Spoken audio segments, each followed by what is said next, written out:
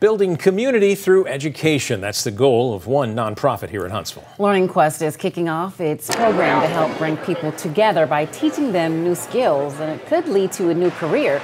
Some of these skills include public speaking, jewelry making, elder law, and sports journalism. It's so diversified. That's why I'm involved in so many of the different classes because there's something for old and young. It doesn't matter how old you are, it doesn't matter what your interest is. Even if you're a part-time retiree, come on down, see what we have, explore. We have a lot of interesting classes.